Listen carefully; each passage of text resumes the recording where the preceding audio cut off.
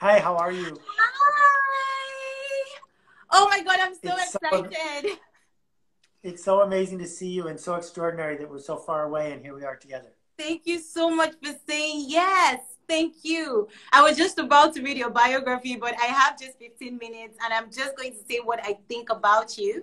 And that is simply that you're a chief starting officer. I consider you a CSO, right? You're super good at starting projects and you do it amazingly. And I was freaked out before this live about everything really. But then I remembered all the things you wrote in Poke the Box and wait, yeah, that. I remembered all the things you wrote there, and I said, This is going to be a compass for me. It's going to serve as a memory, and I'm just going to have a conversation with you. And however it goes, it goes. By the way, you're a fun person, so it can't go that bad, can it? No, it can't. I'm sorry, I couldn't hear you. I said, You're a fun person, so it definitely would go well. Okay, thank you. All right. So since it's about starting, let's just start. So, um, first things first, what's the story behind your yellow glasses? Well, I have this pair of yellow glasses that are less glare, but they're not quite as good a color. Which one do you like better? The yellow, the the first one. Okay. Perfect. It's beautiful. But what's the story Yeah, behind it? Why? Well, when you turn 50, you need glasses, no matter who you are. And I was used to looking at myself without glasses, so I went out and I got clear glasses because I was uh, embarrassed about it. And I was like, I'm going to be wearing glasses for the rest of my life. I'm just going to own a pair of glasses that people remember. So there you go. Whoa, that is amazing.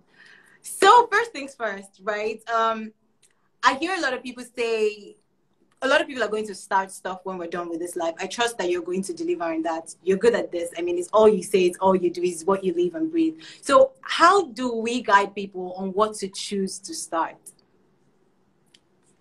Two things I'd say to begin.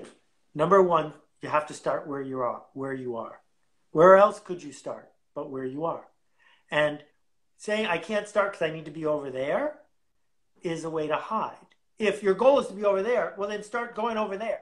But whatever it is, you have to start where you are. And then the second thing is seek out the smallest viable project. Do not come up with a business plan that needs $50 million in funding that's going to change the whole world if you've never started anything before, right? What's the thing you can do that would help three people? The thing that you would do could do that changes five people. That if you hear the stories of people who become successful entrepreneurs, their first business is almost always a lemonade stand. It's almost always shoveling snow. I don't think there's any snow where you are, but shoveling snow. And the point is find a small project, make a difference, and then do a bigger one. Amazing. So here in Nigeria, I can't speak for anywhere else, but here in Nigeria, we're taught to keep quiet. When you do something, when you speak out of turn, you're slapped, you know, like it's not even cool. It's not like shut up. It's a good slap. So we've been taught and we've been taught to conform. How do we unlearn the system? How do we fight the system? Yeah, no, it's a real problem. And it's a problem here as well. Probably not as bad, but it's a real problem. And I wish I had a magic solution, but changing the culture is very hard. If your projects are generous, it's easier to get people excited about them than if your project is hustling people. And so the goal of your project is I have a key, you have a lock.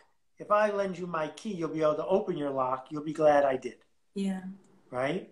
And most people, if they're looking for something in the dark and you show up with a flashlight, will say thank you. And so the idea is to take those steps that aren't about you, but are about helping somebody else. Amazing. Oh wow. Um, sometimes we don't start because we're scared of, you know, rejection, right? And this is something I've heard a lot of people say to me, blessing, I'm scared. What if they say no? So how do you, a lot of us set ourselves up first for no, right? So how do we earn the right to ask? How do we, yes, how do we earn the right to ask? I think that's the question. Oh, I thought you were going somewhere else. Let me start with that. Um, you're worried, we're worried that we're going to fail. Of course, we're going to fail. People fail almost all the time. If you're into sports, more than half the people who show up lose the, the tournament, right?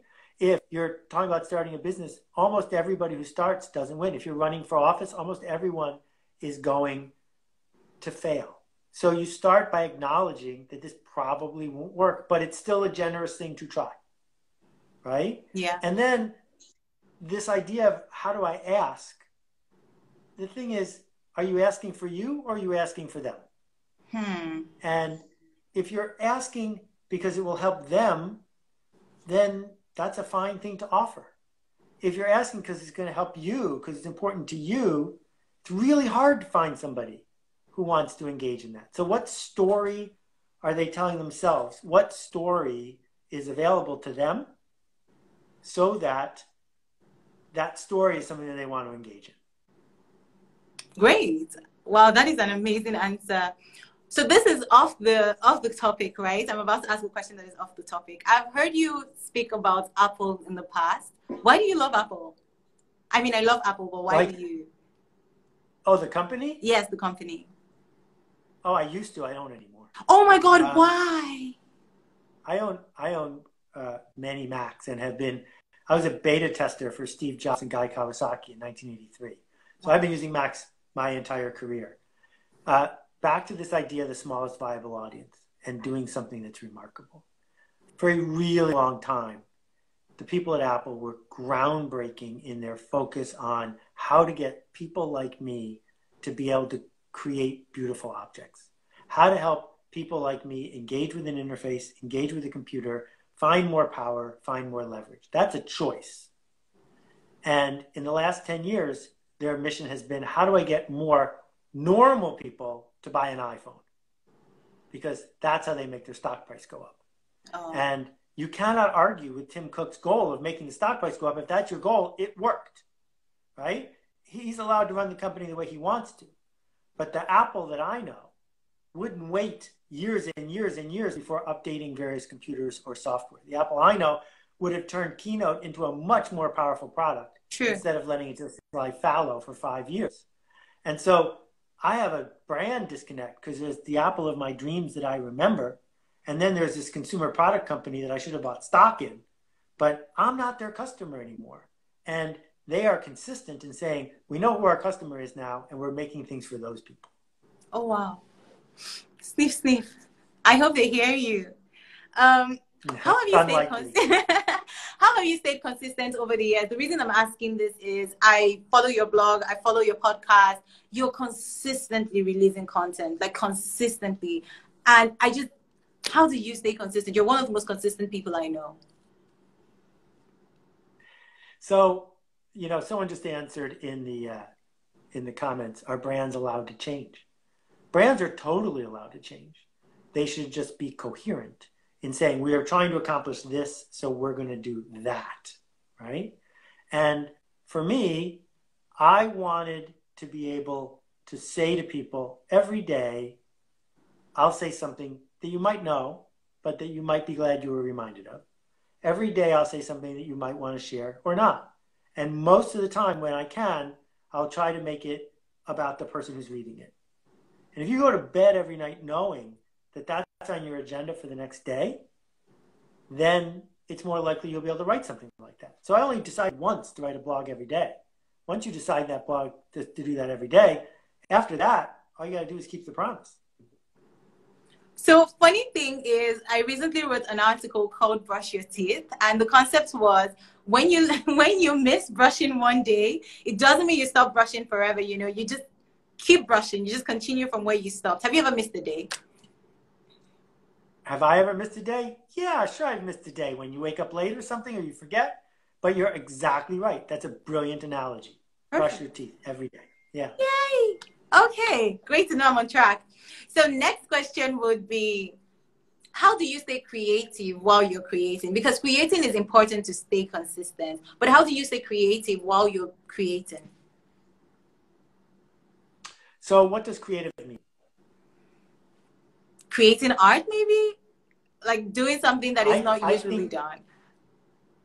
That could be. I think creative means you made change happen. Yes. So, if shipping the same thing isn't going to make change happen, but saying it differently will, you just did a creative act. Oh. So we come back to what what change are you trying to make? Right? You can be clear about what change you're seeking to make then you can find a creative solution that hasn't been tried that might not work about how to make that change. Great. So attention or trust, which comes first? I saw this somewhere, but I wanted you to really specifically tell me which comes first. Okay, so trust is the priceless asset of our time. Trust is in really short supply. But no one will trust you until they've heard of you, until a friend has recommended you, until they've seen you in the marketplace, until they've seen you showing up. And so we if we misuse attention by spamming people, we've burned trust. On the other hand, if we earn attention, then we can make a promise and we can keep it, and that leads to trust. Great. So the reason I actually asked this question is with regards to showing your work, right? How do you like do you just focus on doing the work and not necessarily showing the work? And I'm thinking about this with regards to tunnels and bridges. What do you think about it? How important is it to show your work? Okay, so we're nesting a bunch of things here. Um, if you're showing your work to the wrong people, you're making a mistake. If you're showing your work to people who are trying to protect you by criticizing you, that's not helping. If you're showing your work to people who it's not for, that's not helping. On the other hand, if you're showing it to someone who's a generous critic, who is able to say useful things to make the work better, you need to show your work to those people because that's the only way to make your work better, right? Yeah. And um, the idea of tunnels and bridges was tunnels might not cost much more than bridges. Tunnels can be built uh, with much less disruption. And yet, most city builders build bridges because they get all this credit for bridges. Tunnels are sort of invisible. And what I was trying to say is if you really care about making things better, be prepared to give away the credit. Be prepared to just build the thing without people noticing because if you do that enough times, you'll be able to weave something together. Amazing. So is quitting the same as finishing?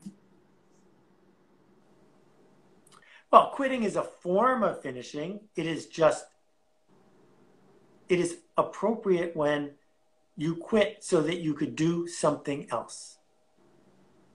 Right? Yeah. So if you're quitting because you're afraid or you're quitting because you're tired, but you're not using the resources to go do something else, that's not necessarily as smart as quitting everything that you can so that you have enough resources to do a great job on one thing. Yeah. So how then do you know what to quit and when to quit? You have no idea, but you know you have to decide. So there's no formula. No formula. There's no way I can say if it's like this, you should quit, and if it's not like this, you should keep going. You just need to know that you've been quitting all your life, and sometimes you quit at the wrong time, and sometimes you quit the wrong things. Look back. Look at other people who are ahead of you. What did they decide to quit or not quit? And look for clues, look for symptoms. oh my God, that is such a wide answer. And that means it still rests on us to be able to decide, right? And we have to do this on purpose. Oh my God, do you have a question for me? I was I was going to just ask more questions, but do you have a question? Well, my question my question for you is you're doing extremely generous work. You've assembled a large group of people who you are leading. Thank what you. is it about this work that excites you? So generally, I just noticed that a lot of Africans or Nigerians specifically do not know how to get their work seen. They don't know how to, you know, get their work on a global scale. And they're doing so much. They're like they're instigating, but maybe not enough, you know. And so that was one of the things that made me happy. And so digging deeper, trying to figure out what is the problem, I then decided, I started realizing, oh, people are afraid to start, people are afraid to quit, people don't know how to take action. And that is why I have you here, you know, global thought leader, showing and shining the light. So this is really amazing. Thank you. Well, thank you. You're inspiring me every day. I really appreciate you stepping up to lead. Thank you so much. So it's right on time. I mean, and I have to let you go because it's 15 minutes on the dot. So thank you so much, Seth, for joining in. You're the best. We'll see you soon. Bye-bye. Thank you. Bye.